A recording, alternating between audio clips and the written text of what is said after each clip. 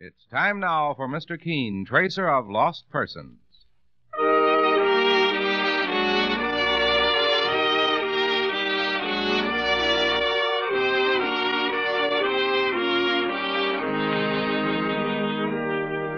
Ladies and gentlemen, Anacin and Kolynos present Mr. Keen, tracer of lost persons. One of the most famous characters of American fiction in one of radio's most thrilling dramas. Tonight and every Thursday at the same time, the famous old investigator takes from his file and brings to us one of his most celebrated missing persons cases. Tonight's transcribed case is entitled The Skull and Crossbones Murder Case.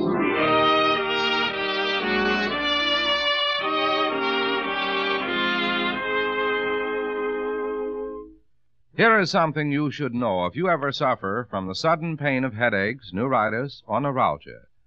It is a way to ease the pain, often within a few minutes. A way that is incredibly fast and effective. It's Anacin. Anacin is like a doctor's prescription. That is, it contains not just one, but a combination of medically proven, active ingredients in easy to take tablet form. Thousands of people were first introduced to Anacin through their own physicians or dentists. But today it is in such a widespread use that all drug counters have it, and anyone may enjoy its benefits. Next time you suffer from the pains of a headache, neuritis, or neuralgia, by all means try Anacin. You'll like the convenience of Anacin tablets, and you'll be delighted with Anacin's incredibly fast action. For most effective relief, use only as directed. A-N-A-C-I-N, Anacin. Ask for it today at your druggist's.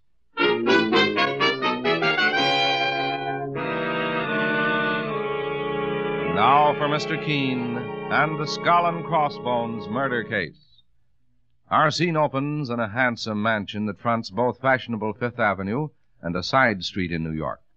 An elderly man and his young wife are just finishing their dinner and are being served by a housekeeper, a woman with graying hair. The diners are eating quietly, but somehow there's an air of brooding in the large and well furnished dining room, as if in prophecy of trouble. Will you have a piece of pie, Mr. Barker? No, thank you, Emily. But it's your favorite pie, Lemuel. Aren't you feeling well? I'm quite all right, Audrey. I'll just have some coffee. I'll pour it for you, Mr. Barker. Thank you, Emily. Lemuel, something's been bothering you this evening. Not really, my dear. I wish you'd tell me. I can see you're worried. Let's finish our coffee, Audrey, and we'll discuss it inside. Frankly, I have something on my mind. Uh, it, Audrey, this coffee, it. Uh, Lemuel! Uh, Lemuel, what's the matter? Lemuel! What's happened, Mrs. Barker? My husband, he, he's fainted. His eyes. Mrs. Barker, look at his eyes. He hasn't fainted. He's dead.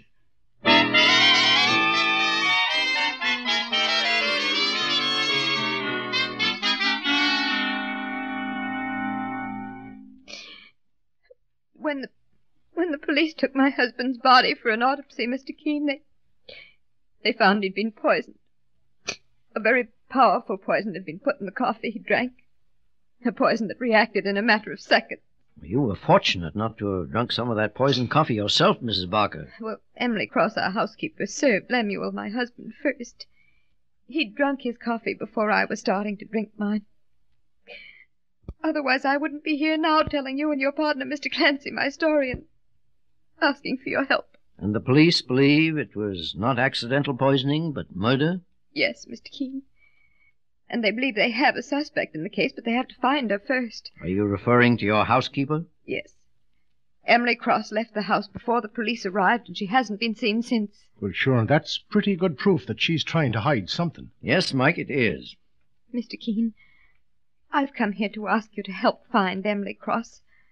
I owe it to my husband to do everything I can to find his murderer and do justice to his memory. A memory that I'll always keep with me as long as I live. You were fond of your husband, weren't you, Mrs. Barker? We hadn't been married very long, Mr. Keen, only a year, but it was one of the happiest years of my life. If I knew one week ago what I know now, maybe I could have saved him. But he only tried to tell me when it was too late. Your husband tried to tell you what, Mrs. Barker? The evening Lemuel was poisoned, he seemed to be very worried about something. Yes, yes, you mentioned that before. After the police came, Mr. Keen, we found out what was on his mind. In his pocket was a small label, and on the label was a picture of his skull and crossbones. Saints preserve us. A skull and crossbones. Where did it come from? My husband had evidently gotten it as a warning, Mr. Clancy, and that's what he was worried about. Do you have that label by any chance, Mrs. Barker? Police have it, Mr. Keen. All right, I'll check with them about it. Police feel that it might have been sent to my husband by Emily Cross, our housekeeper, as part of some kind of a blackmailing scheme. Hmm. How did they come to that conclusion? Well, I. I had to tell them the truth about Emily, even though I knew how bad it would make things look for her. The truth? She'd been keeping house for Lemuel for eleven years. Lemuel came to New York originally from Nevada, where he made a fortune in silver, and retired when he was about forty-five. He bought the townhouse on Fifth Avenue and lived in it alone until a year ago when he married me. Emily Cross and another servant took care of the house. I see. Before our marriage, Lemuel had been a bachelor, and I think Emily had hoped that one day.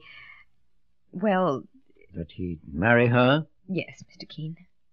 I knew Emily resented me from the very beginning, although she never dared to show it. For my part, I tried to get along with her, knowing that Lemuel wanted peace and quiet in his home. In other words, Mrs. Barker, the police think the housekeeper, Emily Cross, wanted to marry your husband for his money. And when she failed, she tried to blackmail him out of a large sum. That's what they think, Mr. Keen. Well, sure, there might be more than one angle to it, boss. I agree with my partner, Mrs. Barker. This case may not be as simple as it sounds. Now, uh, what about your husband's friends and acquaintances? Do you know of anyone who bore a grudge against him? Oh, no, Mr. Keen, no one. Lemuel led a quiet life and a simple one, in spite of our wealth. He had only one living relative, a nephew named Peter Hunt. And certainly Peter had nothing but respect and gratitude for his uncle. Lemuel had been very generous with Peter financially, even setting him up in a business for himself. Tell me, was the nephew Peter Hunt mentioned in your husband's will? I don't know, Mr. Keen. The will hasn't been read yet. It's only been twenty-four hours since Lemuel's murder, and I haven't even spoken to our attorneys yet. Well, I'm going to pay a visit to your home this afternoon, Mrs. Barker, after I've contacted the police and learned what they've discovered. Meanwhile, suppose you wait at home for me and try to keep calm and patient. Oh, just, just knowing that you're going to help the police solve this case is enough to ease my mind, Mr. Keen. I can't tell you how grateful I am. You can expect to see us again around five this afternoon, Mrs. Barker. Very well. And thank you again. Goodbye, Mr. Clancy. So long, Mrs. Barker. Goodbye, Mr. Keen. Goodbye. Well, sure, the way it looks from here, Mr. Keen, that housekeeper, Emily Cross, has got a lot of explaining to do. Hmm. Well, it seems to me, Mike, that anyone who deliberately planned a murder of this kind would be a little more careful. When a man is poisoned by food or drink, the first one who comes under suspicion is the person who prepared it for him. Now, Emily Cross, the housekeeper, must have known that. And yet, All right, I'll get it, boss. Mr. Keen's office. Is this Mr. Keen? No, this is his partner, Mike Clancy. Please put Mr. Keen on the telephone. It's very important. Well, uh, who's this calling? My name is Emily Cross. Just a second. Boss, it's Emily Cross, the housekeeper the police are looking for. Her. Let me take it, Mike. Hello? Hello? Hello? What's the trouble, boss? I think she's hung up, Mike. Hello? Well, she told me her name was Emily Cross, Mr. Keen, and she sounded scared. She either wanted my help or there was something she wanted to reveal. She may have lost her courage at the last moment. At any rate, Mike, it may prove one thing. This case doesn't begin and end with Emily Cross. Not if she would take a chance on calling me, knowing she is wanted for murdering Lemuel Barker. Well, I guess we'd better report that phone call to the police, Mr. Keen. Yes, I intend to. And after that, we'll visit Lemuel Barker's Fifth Avenue mansion and begin our investigation there.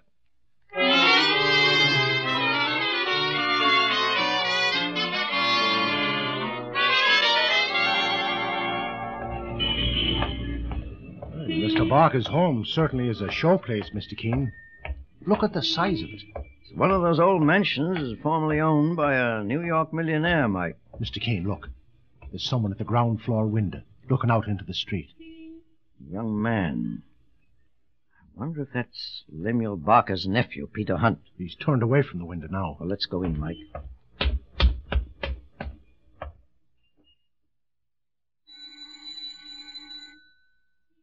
Mike, there's a letter here on the doorstep, partly under the door. Oh, I have it, Mr. Keen. It's, uh, it's addressed to Mrs. Audrey Barker. Yes? We've come to see Mrs. Barker. Oh, you must be Mr. Keen and Mr. Clancy. Audrey told me you were coming. Uh, please come in, gentlemen. Uh, my name's Ted Garrett. I am a friend of the family's. Uh, here's Audrey now. Oh, Mr. Keen, Mr. Clancy, I'm glad to see you. I don't believe you've met Ted Garrett. We've just introduced ourselves, Audrey, and uh, now I've got to run along. Remember, if there's anything I can do. You've been wonderful, Ted. I, I can't tell you how much you've helped me in every way. Well, at least I know I'm leaving you in good hands with Mr. Keen.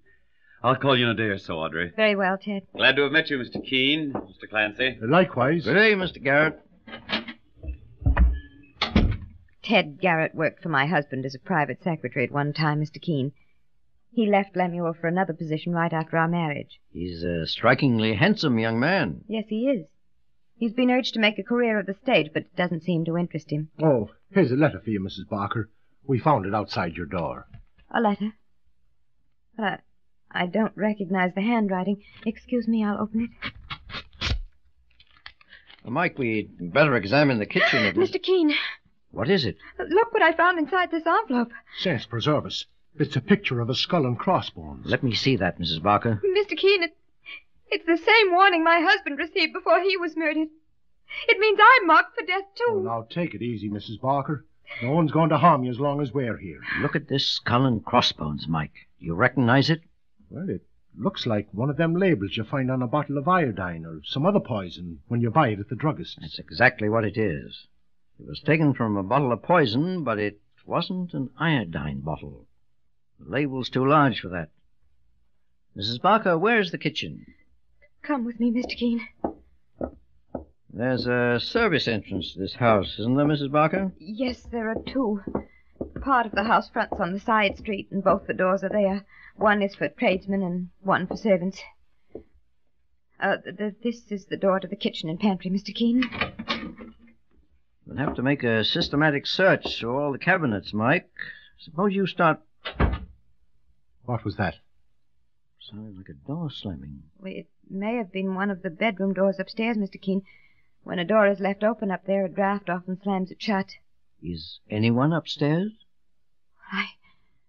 I don't think so. Maybe I'd better have a look, boss. Yes, Mike, go ahead. Oh, Mr. Keen, you think there may be someone else in the house? Well, if there is, we'll find out soon enough, Mrs. Barker. And I'll keep my gun handy, just in case.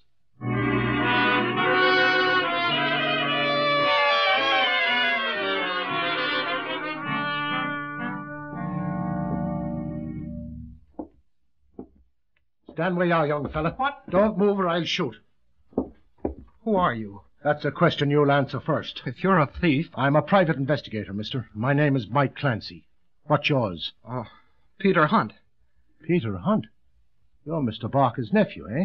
Yes, Well, what are you doing up here snooping around the hall? I uh, dropped in for some things I left here several weeks ago when I spent a weekend with Uncle Lemuel and his wife. Would you mind putting that gun away? It, it frightens me. Well, you could have told Mrs. Barker you were here. Come on downstairs with me, young fella. I, I, I- I'm in a hurry. I, I mean, get out of my way. Come back here. What's up, Mike? Look out, Mr. Keen. He's running for the stairs. Just, just a moment, young man. Let go of me. All right, boss. I'll handle it from here. Let me go, do you hear? Stay put, I say. You're tearing my clothes. Be my sleeve. quiet or I'll use my gun on you. All right, Mike. Let him go. Who is this young man? But he says he's Mr. Barker's nephew, boss. Peter Hunt. Look what you've done. You've pulled my coat sleeve off and torn my shirt. So I see. Mike, look at his right forearm. Mr. Keen. What's the matter? What are you looking at? It's only a tattoo on my arm. Yes, a tattoo of a skull and crossbones. Mike, it's a replica of that label. And something tells me that Emily Cross, the housekeeper, isn't the only one in this case who has to do a great deal of explaining.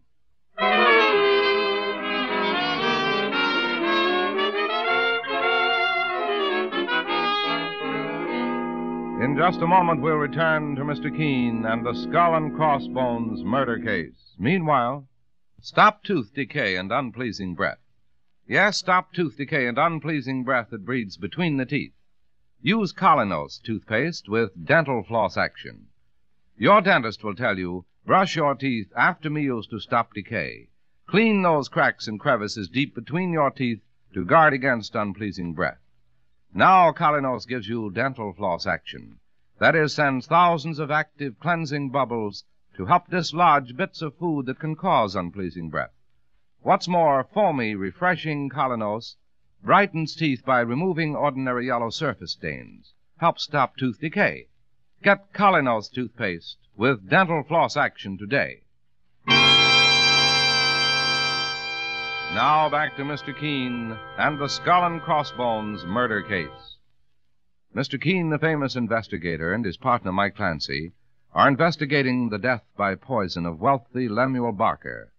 There have been two suspects uncovered thus far.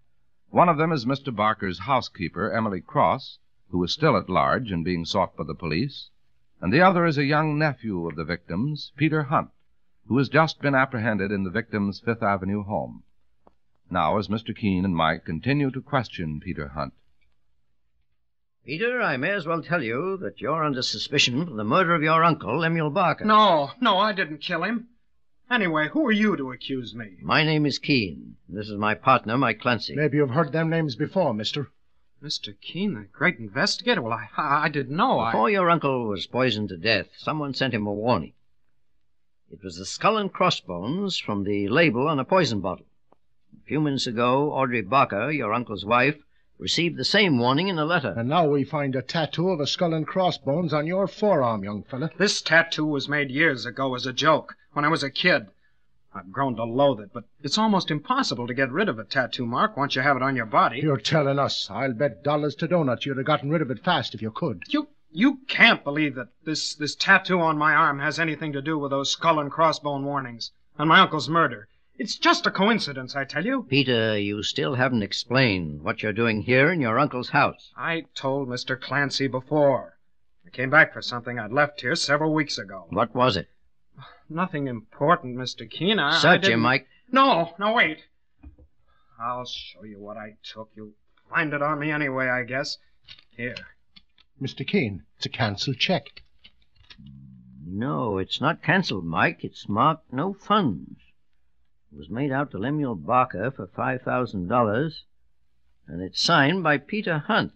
What's the story behind this check, Peter? Would you believe me if, if I tell you? Well, you've got little to lose one way or another, since you're in a very bad spot already. A week before my uncle was murdered, Mr. Keen, he found out I'd taken some money from his house safe here. I I knew the combination. You took the money or stole it? I admit it was a theft, Mr. Clancy, but I was in trouble. Lots of trouble. A few months ago, Uncle Lemuel had staked me to $8,000 to go into business. Instead, I took the money and gambled it away. Go on, Peter. I gambled the money away and went into debt for 5000 more, so I stole the 5000 from Uncle Lemuel's safe to cover myself. And your uncle found out about it? Yes, Mr. Keen. He, he was furious. So furious, I thought he was going to turn me over to the police, so I lied to him.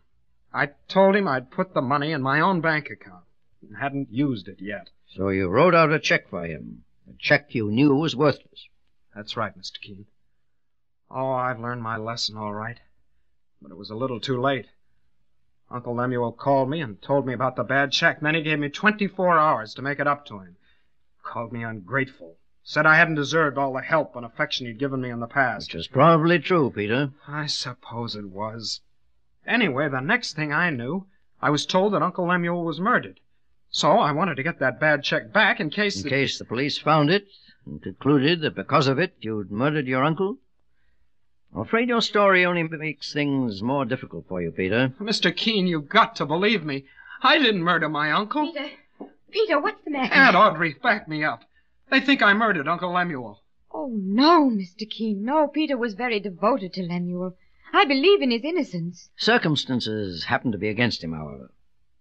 Mrs. Barker, what have you got there in your hand? The bottle of poison you were looking for, Mr. Keen. When you left the kitchen, I continued to search for it, and I found it. It's a form of poison we used once to kill ants in the kitchen, and the label is missing. Evidently, the label was one of the skull and crossbone warnings that was sent to you and your husband. That's your telephone, isn't it, Mrs. Barker? Oh, yes, there's an extension up here in the bedroom, Mr. Keen. Well, perhaps you would better let me answer it. Mike, take Peter Hunt downstairs and remain with him. Move along, young fella, and no funny business. Hello? Is this Mr. Keen? Yes. Now, this is Ted Garrett. I'm glad you're still there at Audrey Barker's house. I'm calling from my apartment. Emily Cross, the housekeeper, just came to me for help. She's with you now, Mr. Garrett? Yes, I persuaded her to talk to you. How soon can you bring her over here to Mrs. Barker's home? Ten minutes. I have my car. All right, come over immediately. Okay, sir. Mrs. Barker, Emily Cross, your housekeeper, seems to have given herself up. She's with Ted Garrett? Yes, they're coming over right now. Meanwhile, I want you to show me just where you found this poison bottle. It may be the clue I'm looking for. The clue that'll break this case and identify your husband's murderer.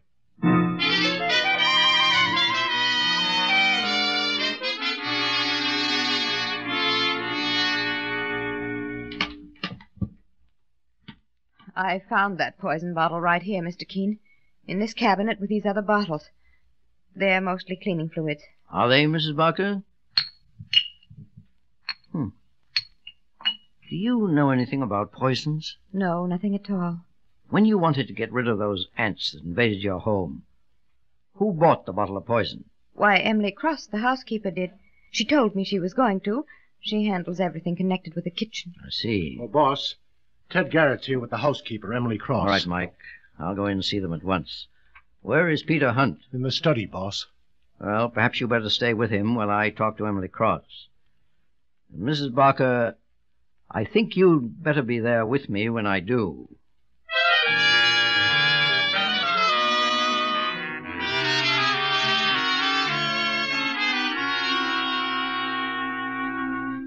I know how it looks for me, Mr. Keen, but I didn't murder Mr. Barker. Then why did you run away, Emily? I ran away because I was afraid.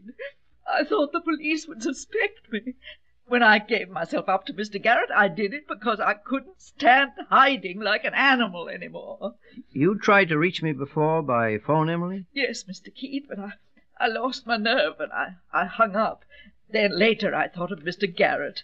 He was good to me when, when he worked as Mr. Barker's secretary, and I thought he, he might help me some way. I just can't believe it, Emily. You, are a woman Mr. Barker trusted. Mr. Garrett, you think I murdered him too? Emily, I have an envelope here and a picture of a skull and crossbones sent to Mrs. Barker. Is the address on this letter in your handwriting? No, Mr. Keen. No, I never sent that letter. Mrs. Barker. Yes, Mr. Keen. I'm afraid I must ask you to do something rather distasteful. What is it? I have a warrant here in my pocket. I want you to sign it, and then I'll fill it out. It's for Emily Cross's arrest on a charge of murdering your husband. Oh, no, no. Oh, Emily Cross is fading, Mr. Oh. Keen. Help her to that couch in the next room, Mr. Garrett, and get her some water. All right, I will. Mrs. Barker, you can use my pen. Will you sign this paper, please? Yes, Mr. Keen. And now your address underneath. That's that's fine, Mrs. Barker. Why, Mr. Keen, I thought you said that this was a warrant for Emily Cross's arrest. It's only a blank piece of paper. Yes, but an important one. It proves to me that Emily Cross is innocent. Emily is innocent. Yes, Mr. Garrett. It was Audrey Barker, Lemuel's wife, who poisoned him. Are you out of your mind, Mr. Keen? Far from it, Mrs. Barker. You made a slip a few minutes ago when you brought me that bottle of poison. Of course, you didn't realize What it. do you mean? You told me you knew nothing about poison, and that Emily Cross handled everything in the kitchen. Yet you picked out the one bottle of poison in that cabinet correctly, even though there were several bottles inside with no labels on them. Well, it, it, it was just by chance, that's all. No, not by chance. You knew which was which, Mrs. Barker, because you used this bottle of ant poison to murder your husband. You knew the bottle all too well. No. No, that's a lie. This blank piece of paper I gave you to sign will prove my theory completely. The handwriting is exactly the same as the handwriting on the envelope which you sent to yourself, enclosing a skull and crossbones warning, like you sent your husband before his death. Audrey, is it true? Ted. Ted, don't look at me that way. Mike, Yes, Mr. Keen. you have your handcuffs with you? I sure do, sir. A murderess? You, Audrey? Oh, you fool, Ted. I only did it so we could be together. So that we could. When you left Emuel's employ, I, I knew it was because you thought you were falling in love with me. And I was crazy about you, Ted. Couldn't you see? Is that true, Mr. Garrett? Yes, Mr. Keen. I left Mr. Barker when he married Audrey. But I swear I had nothing to do with with this horrible crime. There was more to it than love for you, I think. Lemuel Barker was years older than his wife, and she's a beautiful woman.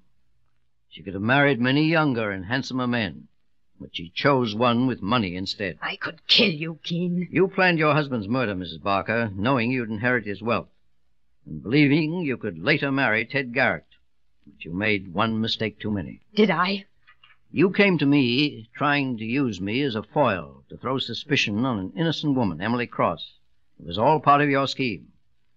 But you'll find that by coming to me, you only provided it a noose around your own neck. Put the handcuffs on her, Mike. No. No, you Oh, won't. son, there's no use of putting up a fight, lady. It's all over. We'll be able to tell the housekeeper, Emily Cross, that she's free of all suspicion. And instead, Audrey Barker will face a judge and jury for her husband's murder.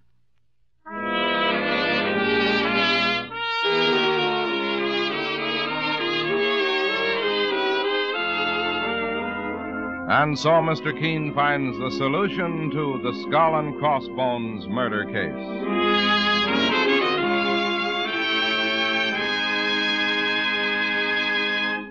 The next time you're suffering from the pains of headache, neuritis, or neuralgia, try Anacin. You'll bless the day you heard of this incredibly fast way to relieve these pains. Now, the reason Anacin is so wonderfully fast acting and effective is this Anacin is like a doctor's prescription. That is, Anacin contains not just one, but a combination of medically proven active ingredients in easy to take tablet form.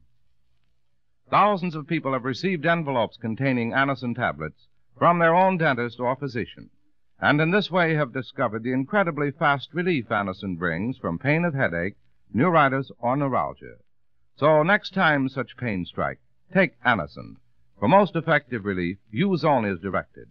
Your druggist has Anacin in handy boxes of 12 and 30, and economical family sized bottles of 50 and 100. The name is Anacin, A N A C I N.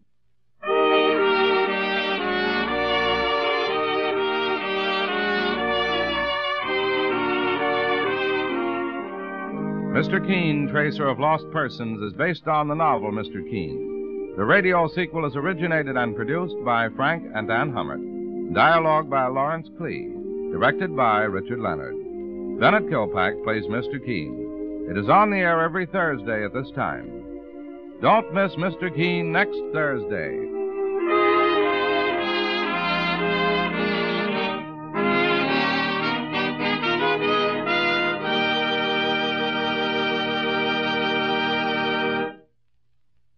Ever suffer heartburn or upset stomach from acid indigestion?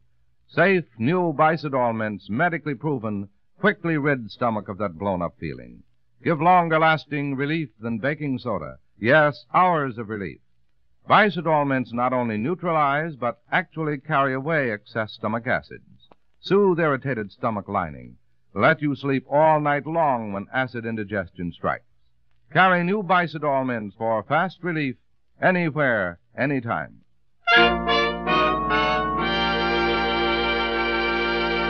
Mr. Keen, Tracer of Lost Persons, will be on the air next Thursday at this same time. This is Larry Elliott saying goodbye for Mr. Keen and the Whitehall Pharmacal Company, makers of Anacin and Kolynos, and many other dependable high quality drug products. This program was transcribed. This is CBS, the Columbia Broadcasting System.